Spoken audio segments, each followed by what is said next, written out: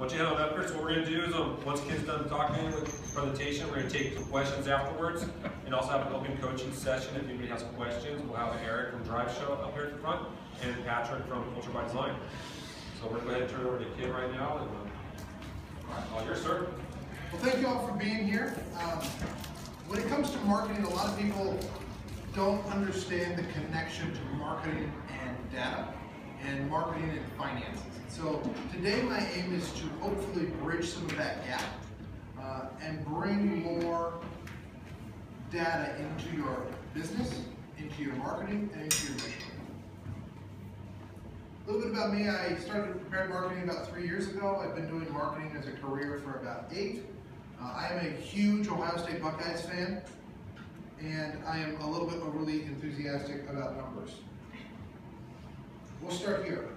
Why should we use data-driven marketing principles? Outside of the fact that virtually every Fortune 1000 company does this as a regular business practice, I believe that there's some additional concepts that would really help us. First and foremost, I think it's a rational approach to your business. Here, here's what I mean. There was a guy who said this once. Which of you desiring to build a house does not first sit down and count the cost, whether he has enough to complete it? Otherwise, he would lay the foundation and not be able to finish it, and all who would see it would mock him, saying, This man has begun to build, but not able to finish it. Right? We, we take an accounting of the money we have before we enter into a project. And, and sometimes I think what happens is in marketing, we say, well, this is just creative work. And if it's creative, something will come out of it. Rather than actually saying, what is the financial value of the marketing that we're looking to do, and what are we financially looking to pull out of it, and what metrics and keys do we need to hit in order for this to be successful. Additionally, data-driven marketing will really revolutionize the way your company works. Harrah Gaming uh, is, a, is one of the largest casino companies in this country. They started data-driven marketing in the early 2000s or so.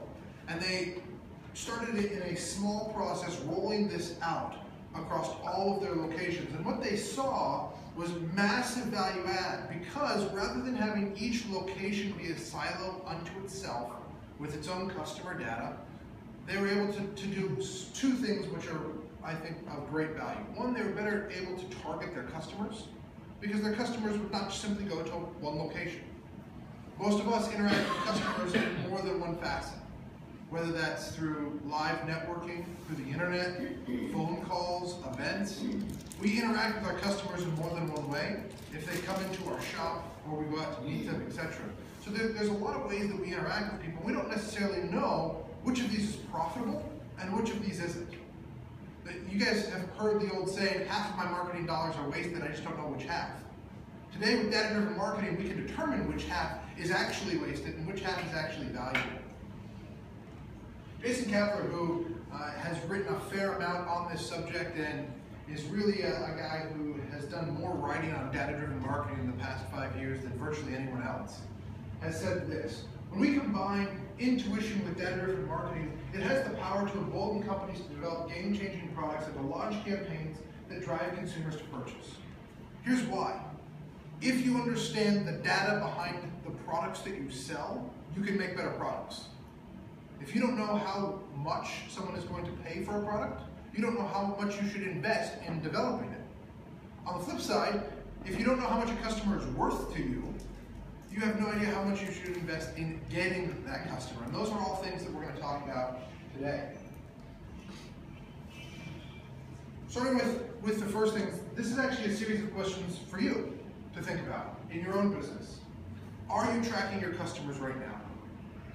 And when I say are you tracking your customers, I don't simply mean do you know how many customers you have, although that would be a very useful statistic, and if you don't, you should. But I mean, are you tracking how they interact with you? How often do they purchase with you? How often do they repeat business with you? What's their sign-up rate for the second year of service? Do they leave after five years on average? Do they leave after 10? Do you know? If you don't know, how can you say this customer is a good customer for me, this is a bad customer for me? If you don't know that about your current customer base, how can you go out into the marketplace and say, I want more customers, without knowing who that customer is? By being able to identify who are your valuable current customers, you can seek out those which will be like those current valuable customers. Has anyone ever had this experience where you go and you get a new customer and you're really excited and then you realize that this is not going to be a good relationship because you're going to constantly lose money on the amount of time you have to spend with them? right? You guys know what I'm talking about. If you have data up front, you can help mitigate that because you can say, you know, I find, as an example, uh, people who, who are in industry X tend to not be as good for me. They tend to leave faster, they tend to demand more of my time, or maybe it's not uh, in industry, maybe it's the amount of money they're spending with you. Maybe it's that guy who has only spent $15 with you and he's calling customer service every week about this $15 product you bought. And by this point, you're so far in the red in spending time with him and people like him that it's hard to dig out of that hole. Initially, where are your customers coming from? Most of us acquire customers from more than one channel, right? We use Chamber of Commerce events. We, we go to other networking events. We use the internet. We use maybe the phone book. Hopefully that's going away soon. We use, we use all of these channels to acquire customers into our business, but many of us don't know which of those avenues for acquiring customers is actually valuable. Where does your most profitable customer come into your business? So for example, I'll, give, I'll give just a quick example from our business. I know for, for a fact that our morning networking groups and the amount of money that we spend in that is a far better investment for us than going to evening networking events that are maybe monthly or quarterly, where, where we don't see the same people all the time. If we see the same people over and over and over, it's typically a much better investment for us versus going to a place where the people who are there are going to be random each month. And so, so for us, we can say, okay, it's more valuable to target this kind of uh, time spent and money spent versus this kind. And we can make a decision based on the facts for how we are acquiring customers. Finally, what marketing investments are actually making financial sense? There are a lot of avenues to invest in marketing. A lot. There's a lot of different programs, a lot of different systems. Some of them are good, some of them are bad.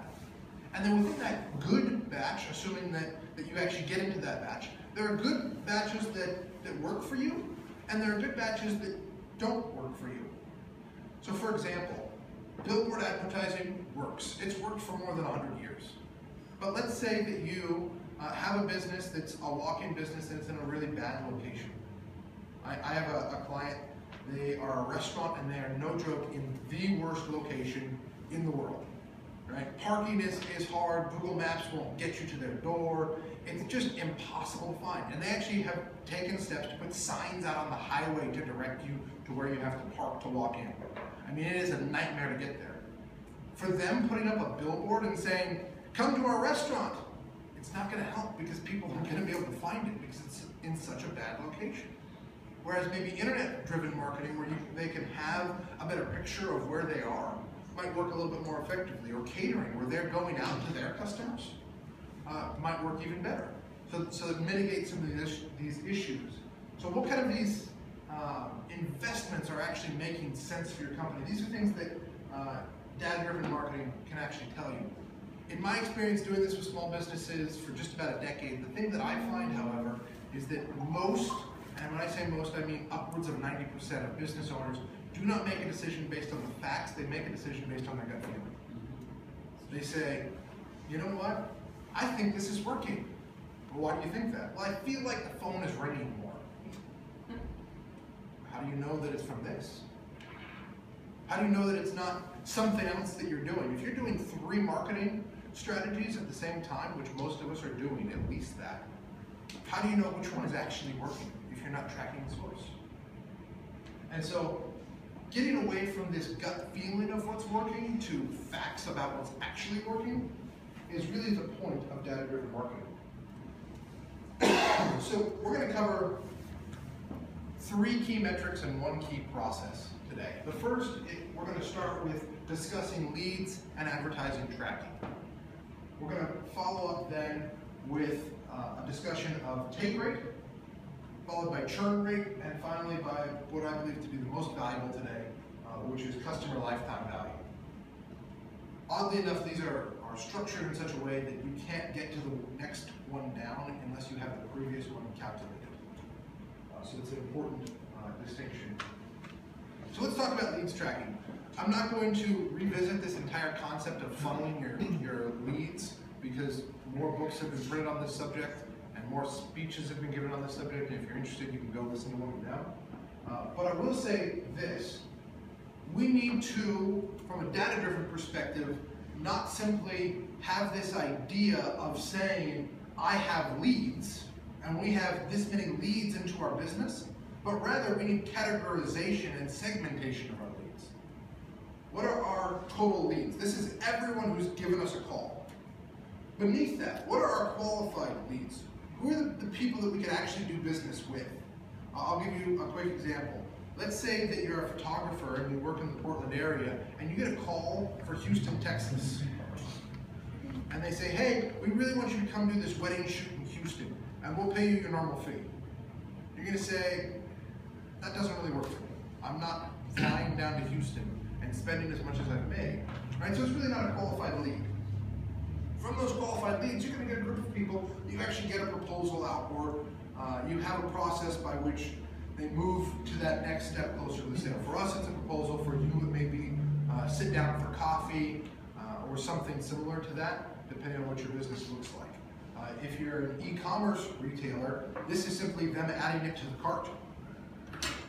Okay, so there's there's levels here, and each business is somewhat distinct. Finally, we have our closed sale. These are people who've actually become our customers, right? And and this is a much smaller group than where we start. But we need to be able to track, okay? How did these people get here? How do they weave their way through this? We, when we think about the internet, it's really easy to say, okay, they came in through the home page, they went to these four pages, they went to the cart, and then they finally checked out. Right? We can see the flow that happens. However, the question is from a non-internet, non-trackable, human-to-human relationship, how does that same thing? The data-driven marketing, effective leads tracking that looks at things like source, number of meetings, etc. We can actually track this data very easily. Referral source. This is going back to this idea of which marketing investments are actually bringing in leads. If you're using, let's say, three channels and you're taking a multi-channel marketing approach, aka I advertise in the newspaper, I do live events, and I've got a website. Okay? Which one of those three is actually bringing in leads? Do we know? Do we have a system in place where we either ask or can see through some automated process where they came from? Okay?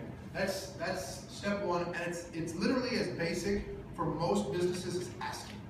If you run any kind of a service company, right, from uh, pest control to plumbing to uh, attorneys to CPAs, that whole gamut, anybody who's providing a service, it is literally as simple as asking, how did you hear about me? Where did you find us? It's just that simple. And, and you can see that. Okay? And then also then tracking uh, referral source by sales. So if we go back and we think about this closed sales, right? We want to think about when I look at my volume of sales, where did they come from? Who actually brought in sales to me? Okay? So let's say that, that you have two equal buckets of leads. We'll say the internet and we'll say the yellow pages for ease. Okay? And, and what you find is they both bring in 50 leads a month. And you only get 10 sales a month. So you, you get 10% of your leads turned into, into sales. Which group is actually driving those sales? It could rationally be 100% yellow pages. It could be 0% yellow pages. Unless you know, you don't know which one's actually a quality investment.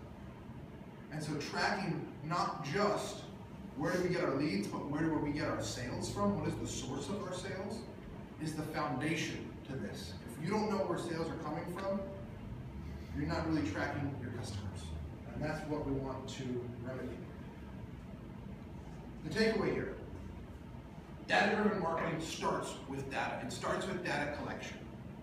Everything that we're going to talk about today, uh, we are going to be providing free Excel spreadsheets, some of which are printable, some of which are simply digitally used.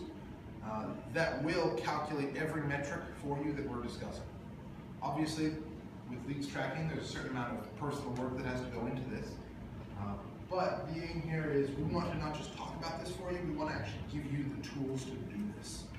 And so we will be providing you with that. The thing to keep in mind when we're talking about leads and referral source marketing is that it's all about quality. okay? It's not about, hey, we've got seventy-five percent in there. Great. I don't care if you have hundred percent in there. If it's not accurate, it's not useful. You need to be as accurate as possible. You're only getting able to get fifty percent of your data in, that's fine as long as it's hundred percent accurate. I've worked with many companies who say, look, we're getting eighty percent of our data in. We're only fifty percent confident that it's accurate.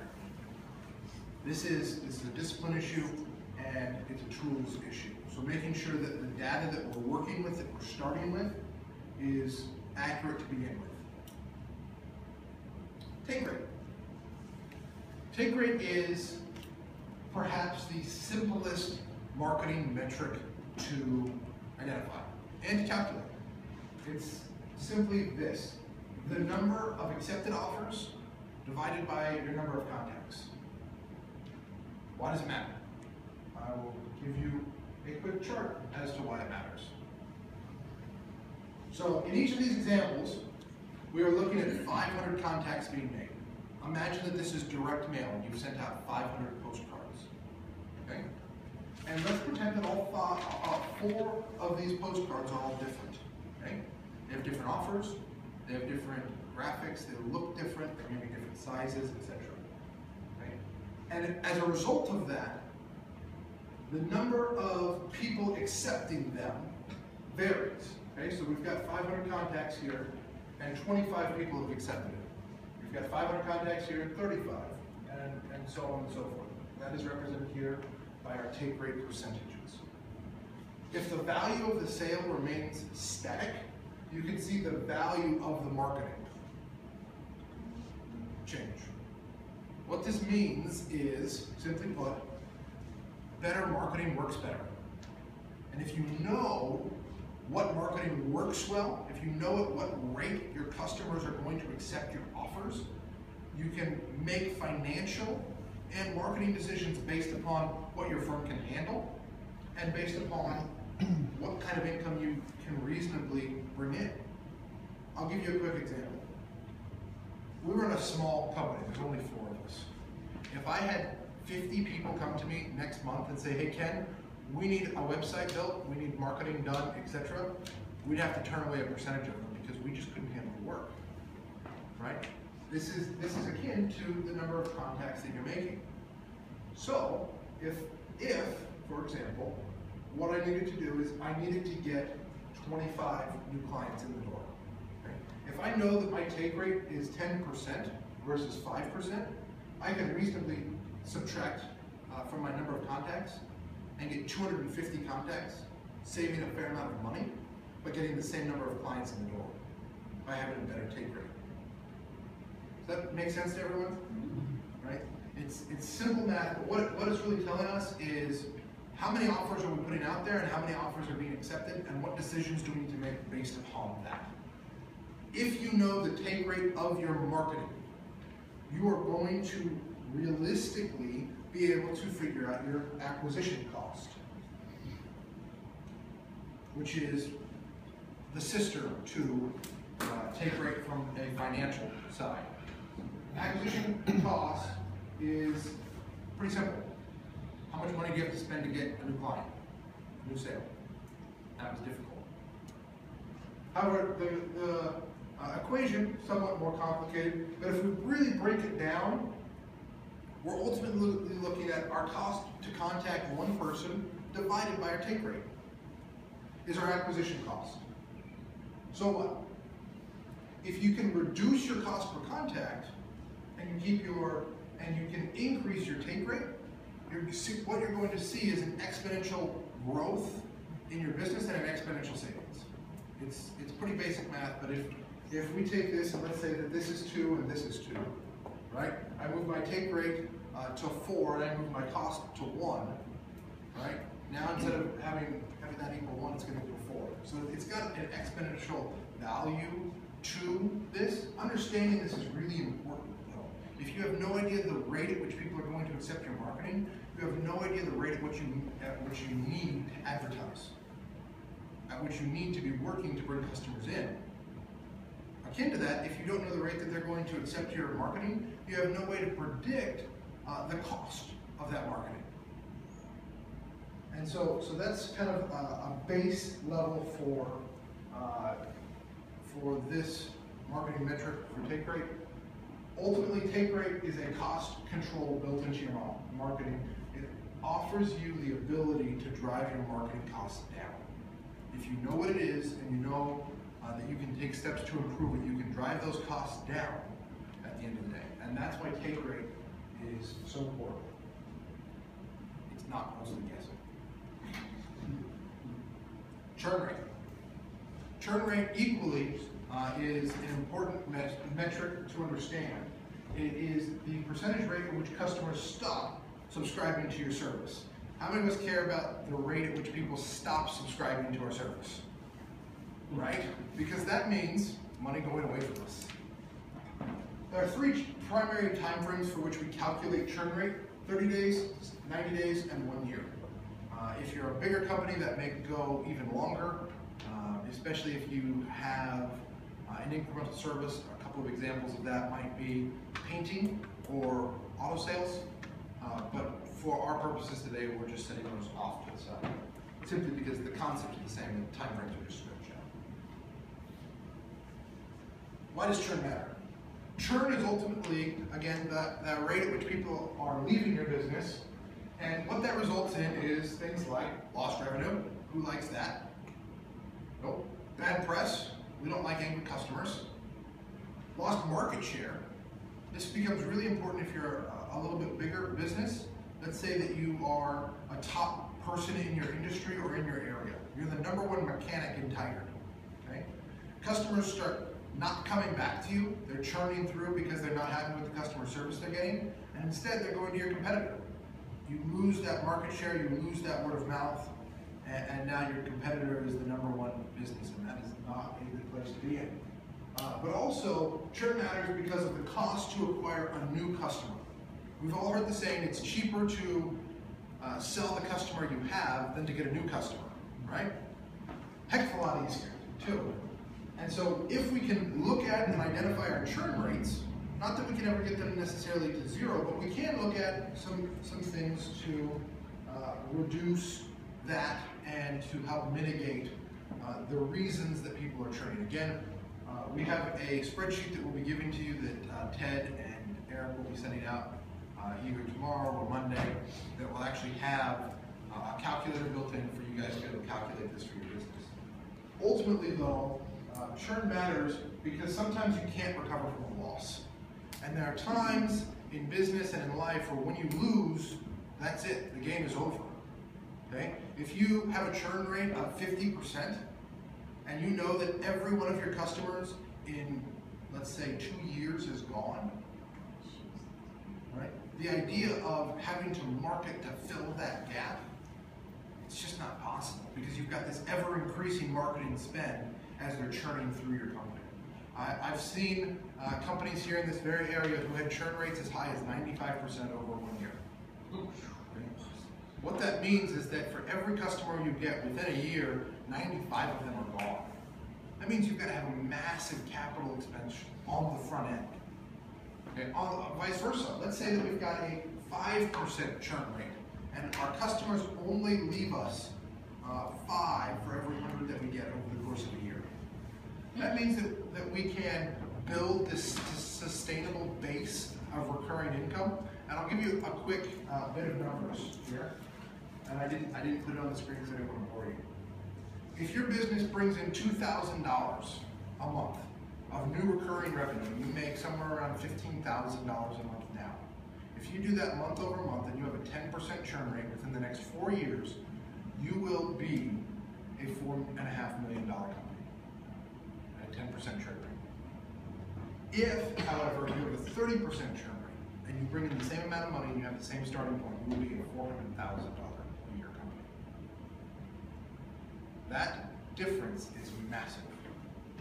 Who would rather make four and a half million versus four hundred thousand? Right? All of us. And so the rate at which we can keep customers in our business is super critical. By the way, you can all laugh at this now. I, I was laughing when I was putting it together. Yes. Marketing to those who churn. Okay, the reality is there's going to be a percentage of people who churn out of your business. They're going to leave. And, and yet there is a, uh, gosh, that's really funny. I didn't think I was going to laugh.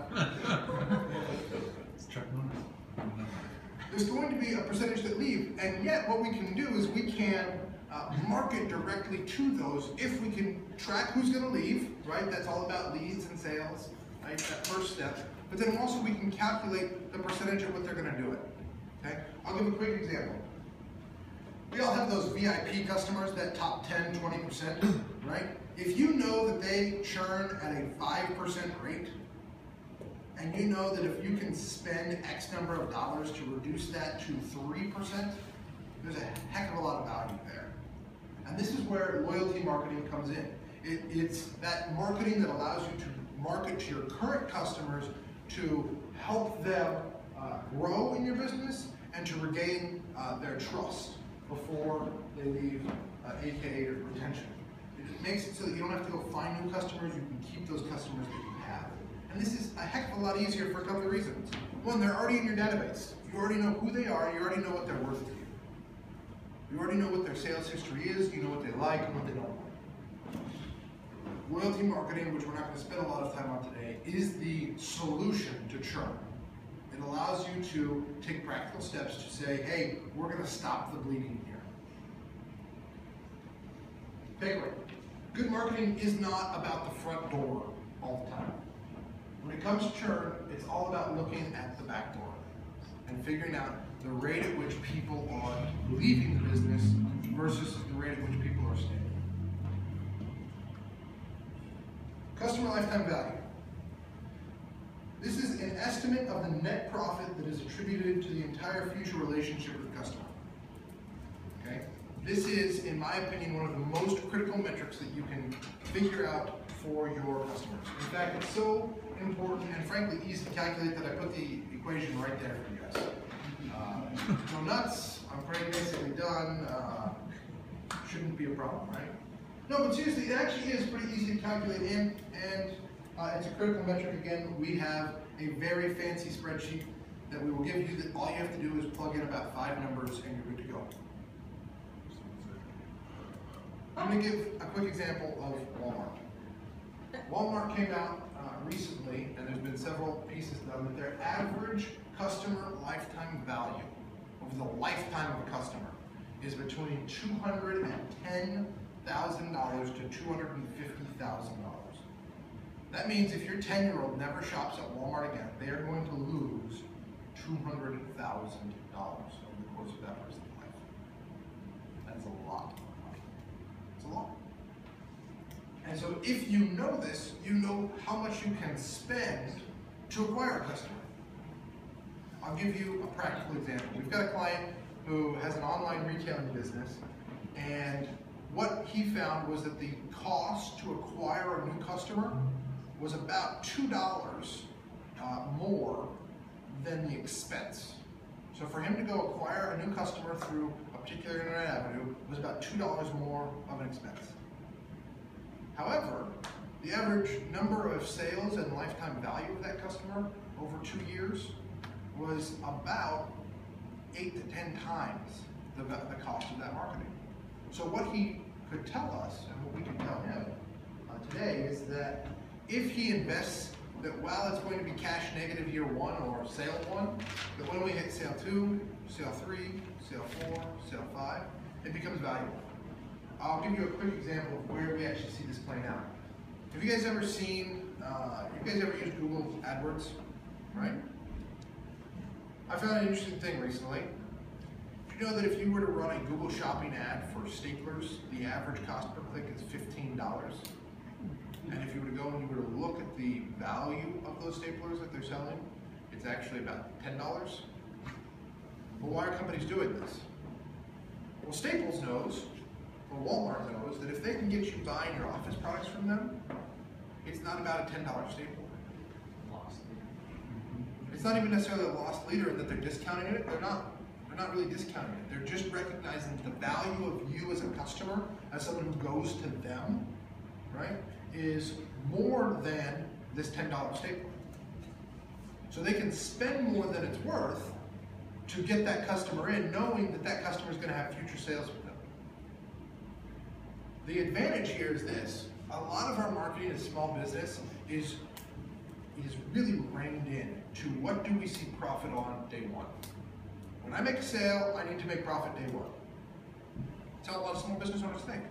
Because they're saying if it's not, I'm, I'm losing money. Which in a way they are. But what's the value of that customer over their five-year or two-year or three-year relationship with you? Is it worth more than that first sale? I would argue yes, especially if they're a recurring customer. I'll, give one, one last example. I've got a client uh, who he has a year-long contract that he, he does with people. Uh, that year-long contract, we'll say, is valued at $1,000 uh, for ease. His average monthly sale uh, is, is about $100, give or take. It's actually about 80 uh, and, and the issue is, for him, he has to spend more to get that first customer in for month one than they're worth. But they've got a year-long contract they have to sign with him. Right? And so he knows, okay, month one, I've got to lose money in order to get someone in the door. But if he doesn't know them, and, and he's comfortable with that because he goes, look, my solution is that they have to sign a year-long contract. But I would argue, if if he he looks at that, he could say, okay, my renewal rate for these one-year contracts is 87%. That means that that for every person that I take a loss on, even in the first year, I'm going to make X number of X amount of profit year two, year three, year four, year five, etc. So it allows them to really see what they should be spending to acquire a customer. A lot of times when we do forecasting as business owners, we look at sales numbers. Right? Look, we had this many sales last year, this quarter. This is how many sales we can expect. I would argue that that is backwards thinking. Ultimately, sales as a metric is the rearview mirror of your car. You're sitting in your car, you're looking in the rearview mirror, that is your sales. It's already happened. It's behind you. Customer lifetime value, uh, by, by comparison, is the windshield. It's looking forward. What, what happens after that sale? How much are they worth to me over the course of their lifetime with my business? If you know this, what, what ways would you maybe change your customer service? Would you change your marketing? Would you change your interaction with them? To do a couple of things. One, to retain them longer. Two, to make them happier. Three, to help them bring in maybe referral clients, etc. Right? It allows you to look at a customer not just for what they've already given me, but for what they will give me. And it, it actually allows for business forecasting. Who would like to know what they're going to make next year? If you know the amount, the amount of customers that you estimate to gain, aka your take rate based upon your acquisition cost of marketing, you can predict the amount of customers that you're going to get. And if you know the average value for these customers, you can also predict how much you're going to make. This is this is revolutionary to small business because it's no longer I hope we make this amount of money next year. It's rather based on the data, and I understand that there's going to be a range in here, and it's not going to be 100% accurate. But based on our data, we see and expect a high and low between this and this, and so it allows for better business planning. Practically, using customer lifetime value allows you to set a reasonable acquisition cost. So again, you don't have to be trapped in this bucket of what are they going to make me today. Uh, I was working. You guys remember when the Gulf oil spill happened? I was working with an attorney at that time, and he was doing an AdWords campaign. And he said, "Ken, here's ten thousand dollars to spend this week. This week, I need you to get. I need to get as many clients signed up for a class action suit in this week as possible. Here's $10,000, go spend and be happy. You spent $10,000 in a week. Uh, it was funny because day one, the AdWords clicks were about a dollar. By the end of the week, they were about 300 uh, Then he ran out of money because they were $300 a week. Everyone was clicking up. But it allowed him to set an acquisition cost because he knew that if he went into this class action lawsuit and won, which he did, he would make a lot more than ten thousand dollars. In fact, he walked away three years later with six million dollars because he could estimate what was the value of his customer. How much should I spend on loyalty marketing? If you know the customer lifetime value, you know how much you should spend to retain a customer. You know how much you lose if they churn out of your business. However, what I believe the, the key point here is you know who is your most valuable customer. Let's say that you're a business that has a thousand customers, a bigger business. Okay? You, you deal with a lot of people.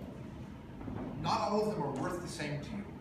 And so you can use uh, customer lifetime value to look at groupings of customers. And you can figure out which groupings are actually most valuable to you and thus where you should spend your money. This is what larger companies do. In fact, if you look at larger banks in this country, they, based upon your CLV to them, will adjust how long you have to wait on hold to talk to a, to a teller or whether or not you have to pay a fee to a teller uh, in person. They use this metric to control their customers and thus their costs. We could take this a step further. We're not going to really talk on this today, but I just want to touch on it. That using customer lifetime value allows you to control cost for your customer. And, and this, at the end of the day, results in being able to fire those unprofitable customers because you know what their lifetime value to you is. If you can see, look, I've got these bottom end customers and their lifetime value to me for this bottom 5% is all negative. My cost of service, my cost of marketing, my cost to acquire is always negative. You can go in and fire that bottom rung of customers and say, look, we're not dealing with these people anymore because it's not worth it. We're losing money. But if you don't know your customer lifetime value, you can't really track that very effectively. Again, it's a grouping technique. Uh, it allows you to see the profitability uh, as a group of specific segments of customers and group them together. It gives you the ability to segment out those most valuables and it allows you to treat those VIP customers as VIPs.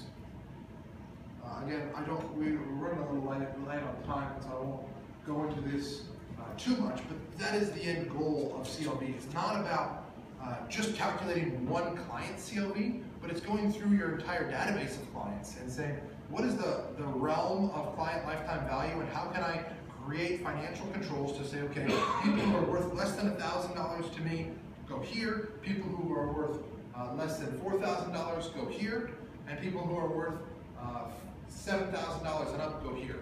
Uh, I work for a nonprofit, and we do this with donors.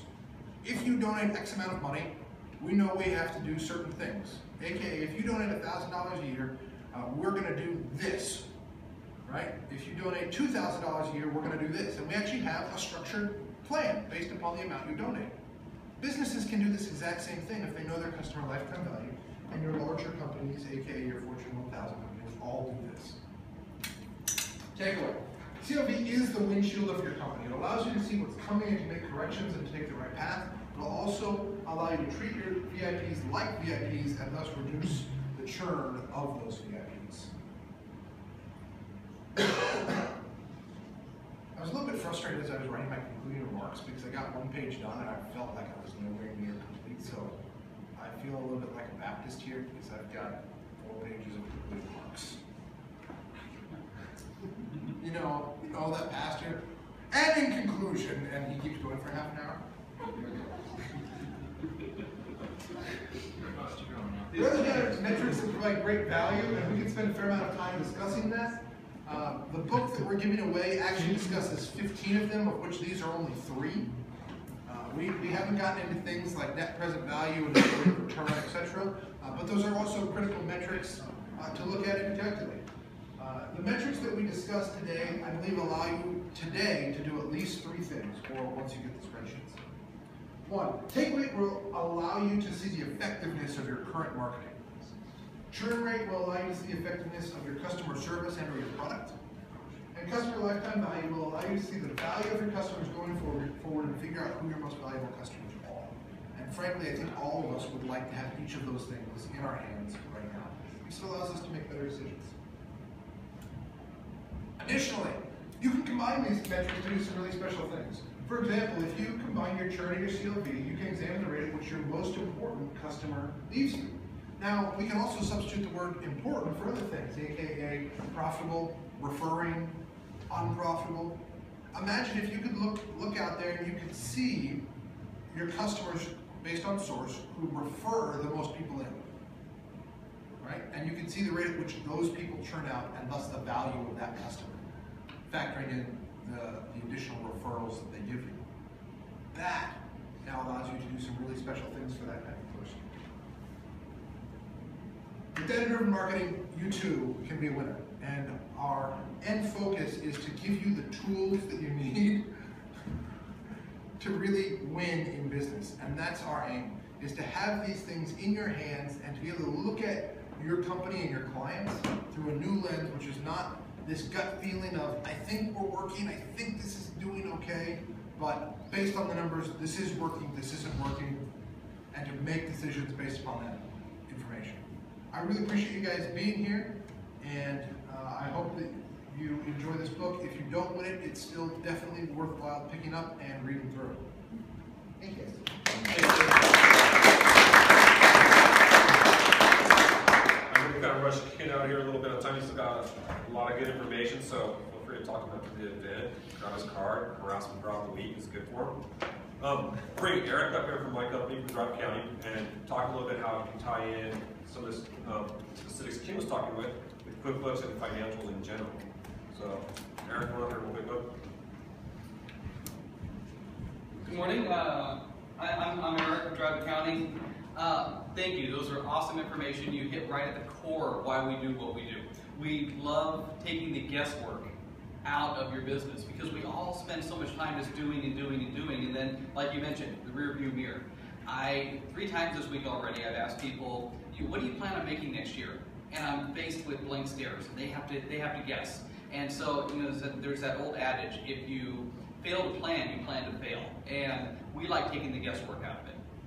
So, so much of these metrics, I mean, accounting isn't just your your checkbook balance and your invoices and whatnot. It extends to these other metrics and how you can now make wise decisions about your business. So um, a lot of these things can be tracked within your financial information, but there are other bolt-ons, so to speak, where you're tracking what you do. So um, Ken, I just want to say thank you. I thought that was awesome, the different things you covered. It hit right at the core of why I do what I do. So um, I guess we have a uh, time for open coaching. Um, you know, questions can be related to this, related to anything else, and about things that you're stuck on in your business. Um, and it can be across the board for whatever's uh, bugging you. We have Ken here, we have, uh, who obviously focuses on metrics, on, on the marketing aspect. I focus on accounting systems, on those same metrics, on how to get information out. And we have Patrick with Culture by Design, who Patrick is one of, anytime there's a people problem or some, something with someone trying to make a choice, Patrick has been the best person I've ever run into in my life for helping people through those decisions. So if you have questions about employees or decisions or things like that, Patrick is the, the guy to go to. So, um, Yeah. Shall we come up and? Yeah, why don't you guys come on up real quick, sorry, because then Patrick, on your way up there, I got a question for you.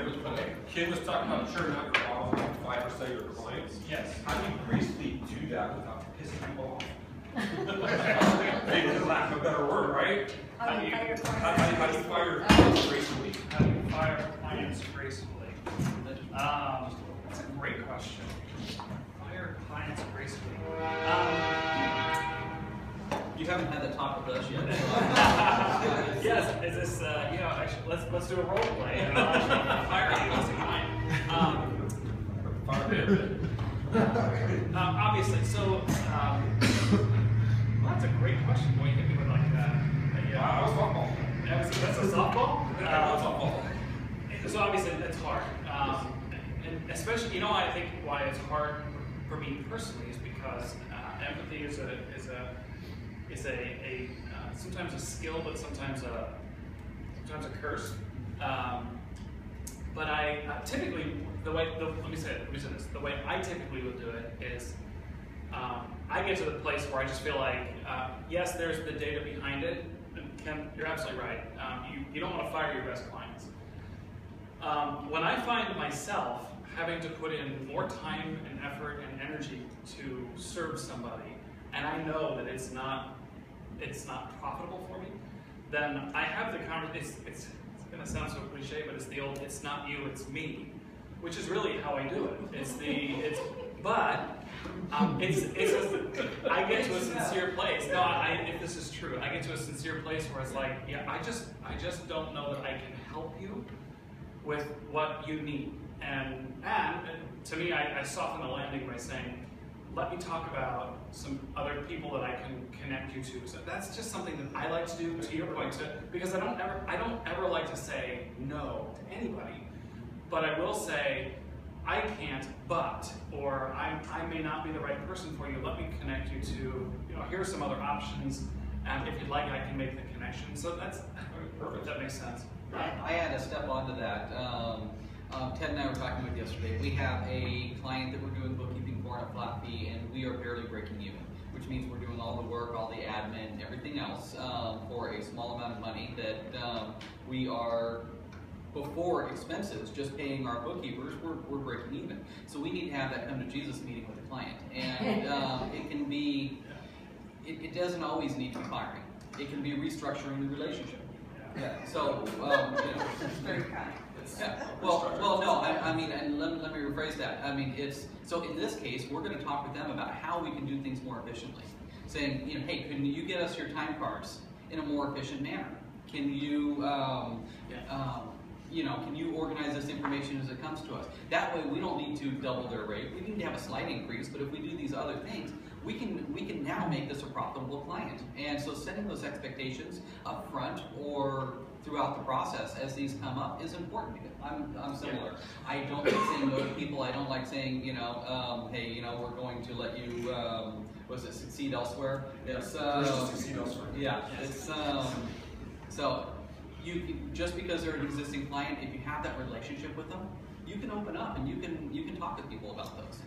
I think that's a, that's that's that prefaces to me firing the client is a last resort. Um, wherever you can restructure it, have that conversation about expectations, which is why I think really expectations are critical at the beginning of the relationship to say, here's what I can do, here's what my commitment is to you, here's what I need from you. And that's something that very often as small business owners we Ken, you made a great point. We make decisions because we make short-term decisions because we need cash flow. We need we need we need to be profitable today.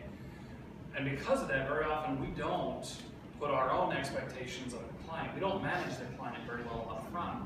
And that's how we end up getting into those situations where soon into or down the road in, in that relationship, we find ourselves not profitable with that particular client. We got ourselves into that situation because we weren't clear with our expectations up front. So I think uh, here's the, the key takeaway from what Eric says. It's never too late to go back and reset expectations. It's never too late to reset expectations with somebody. Just to say, hey, let's just have a check-in. Here's where we are. Here's where we started. Look at how. You know, here's what's changed. Um, here's what I need. What do you need from me? How's this working for you? Um, And it's not that it's always about profit, but that's a big indicator. I mean, if I'm going to volunteer, I have other organizations that I'd rather volunteer with, you know, that I think will help more people. So it's, um, you know, there has to be both sides have to honor that relationship. If it's if it's just us giving, then it then it's not a long term relationship that we want to have anyway. So. Interesting. Anybody else have any question for these three guys up here related to your business? Uh, Something off the wall to give a hard question here or anything? Yeah, I have a question. Sure. Um, On your, you did all your calculations and cost of marketing and all. How do you factor in the personal time that you're doing on your marketing? And there's two situations. One, you're marketing instead of working. And in another situation, you've allocated X hours to the marketing, so you're not really taking away from the work time. So, so with anything, you need to assign a value to your hourly rate of which you're doing marketing, right? So if you're spending five hours a week of marketing, you need to know that our business is spending X number of dollars in marketing, even if it's not a check that's going out, uh, because it's time that's not being spent somewhere. So you need to create, invent uh, a valuation for that time. And then when you look at cu- customer lifetime value, um, part of that equation is cost to serve your client, uh, as well as cost of goods. And so it would get rolled into that. Um, you could also factor that into acquisition cost, uh, which is, you know, kind of your starting point. of- There's a time value of money and that goes into our acquisition cost. So, uh, I'll give a quick example of a direct mail piece. Uh, it may only cost you, uh, five hundred dollars for the printing, for the stamps, for the labels, all of that stuff. But if you spend an extra four hours working with the designers or designing it yourself, you need to put an extra two hundred, three hundred dollars into that total cost. It gets spread across each client. And so it's, it's just a matter of factoring it in to the equation, either in post-sale customer service time or into acquisition cost.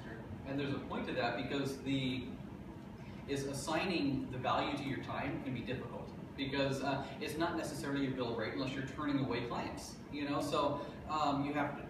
There, it's a little bit arbitrary, but the way I look at it is the difference between working in your business and working on your business. So when you are, when you're the sole operator, and so still in our company, I do a lot of the billable work, and um, we've been trying to get um, me out slowly over the years to, to where I'm doing more management of the company. And there is, um, there's a cost associated with that, but if the business is dependent upon me and Ted, then it's not really a business. It's just, you know, we have jobs as a you know, sole practitioner, we're working in this here. So what would it cost? Sure, I'm doing the work because I don't want to pay someone else to do it, or they can't, or whatever the case. But what would I pay someone else that was able to do that work? So that's the number I typically use, is that if I could get someone else to, you know, you know, to do this marketing, what would it cost? And that's how I assign the value to that. Uh, that also comes up quite often when we're looking at uh, margins, as far as your cost of goods sold that Kim was talking about.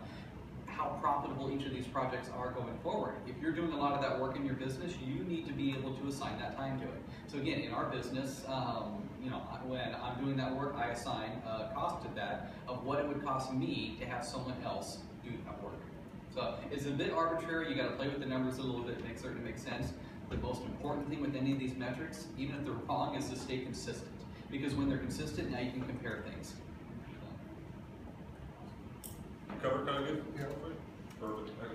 Back to the question. I have a question for both the guys on already. Uh, in terms of, so so much of, of our marketing, uh, people, let me say this, it's easy to think of marketing in terms of dollars that we're spending in on running ads or on, um, have, have a presence here.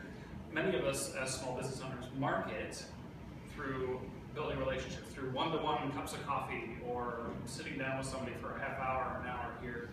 Um, is there, um, Ken, to you, half of the question is, is there benefit to tracking that as marketing? And then Eric, is there a recommended methodology for how to do that from an accounting perspective?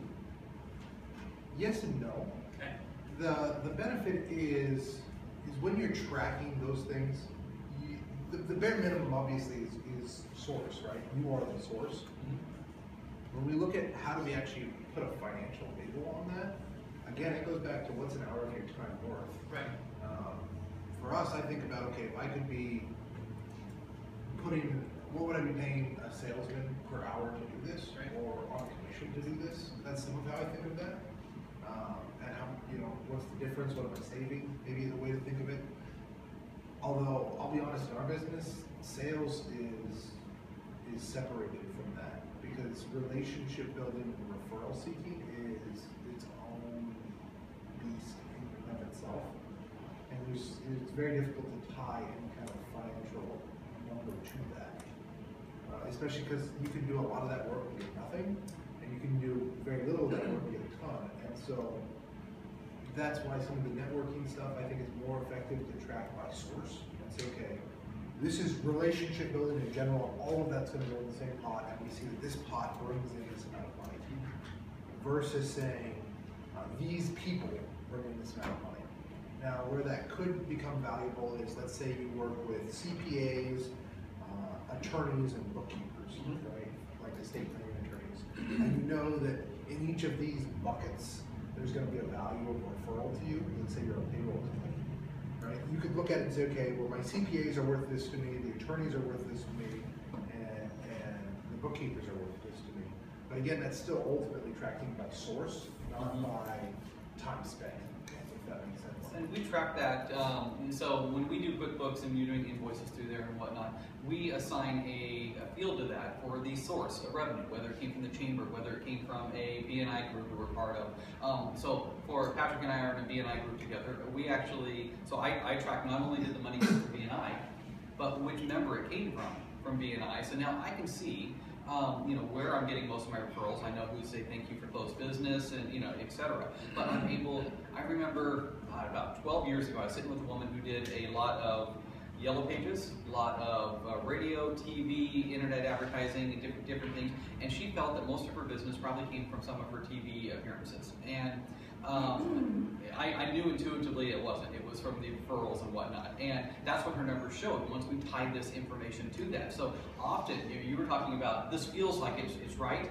Well, our guts lie to us all the time. We, we think that it's correct, but that's where you go to go back to these metrics. So we, we track where this business comes from, but like uh, Ken said, it's difficult unless you're putting a time to that. Um, or so in, in our company, Ted, Tim, and I build a lot of these relationships. Um, I still, um, I got a call um, earlier this month from a guy I haven't talked to in five years. He was a client in 2006, and I haven't talked to him in, in five years, and um, just referred me a great client that is that called me yesterday. and We're going to get going with so. There's that's the difficult part of quantifying is how good you are at that and the, the relationships you build is they in theory if you're honoring those relationships they should be paying off for years. So it's it's difficult. So what we do is that we say, you know, we want to assign X amount of time to this, and we want to build these relationships because we know we track those metrics. This is where most of our business comes from. Now you use that slicing of data, like Ken was talking about, to say, okay, now where should I spend that time? But um, if you're responsible for bringing in a new business, that's just something that you've got to do. It's uh, and it's a balance between how much time you have available and working in your business as well. So. All right, thanks guys. So we're about to wrap up the program now because we're gonna kick us out of here. Um, what we're gonna do is we're gonna have the evaluation forms right now. We Appreciate it. Everybody was truly honest on this, as if it was your little brother giving a presentation. Be brutal. Big brother, little brother, whoever you're not particularly fond of, that would be what we can approve on. here. And be truthful, please. All, all five doesn't do anybody any good if there's no data behind that that we're talking about. As we fill out those, I'm gonna go ahead and grab a bucket and uh, pass them out. Put your business card in if you don't mind. We're gonna raffle off, um, the book here and a twenty-five dollar gift card. Around?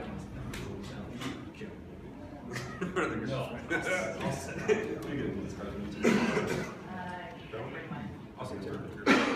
I'll say two. Okay, you got one. No, you can't. mine are on the back. No, you can't. You can't win one either. Oh no, You asked if I had Kate's business? Yeah, I would- Uh, I might, actually.